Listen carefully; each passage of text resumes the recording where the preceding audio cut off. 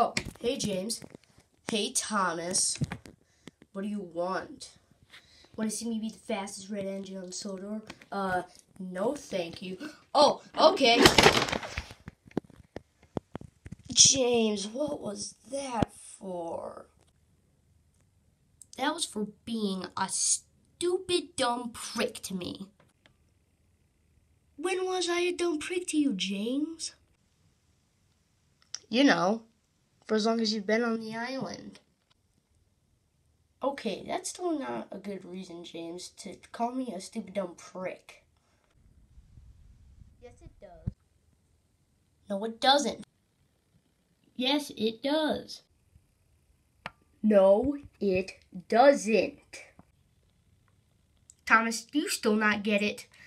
You're still a stupid dumb prick on this island and could have been sent away by Sir Topham Hatt any time. Really? Yes, Thomas, really.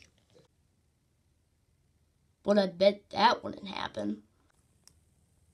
Are you really sure, Thomas, that he wouldn't send you away? James, I am very sure. I don't think so. Hey, wait, Thomas. What? Thomas, I can see something. What can you see? I see help, Thomas.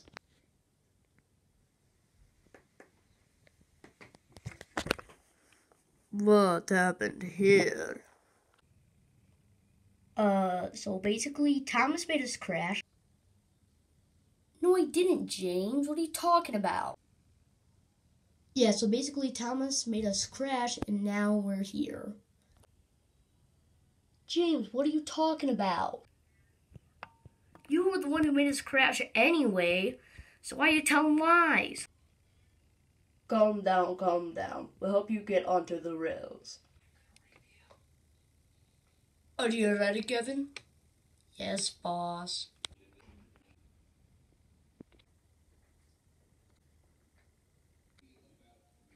Now you two don't cause any more trouble, okay? Okay, okay. Good, good. That was a strange predicament, now wasn't it? At least this can conclude with a happy ending. Well, see you, James. See you, Thomas. Bye.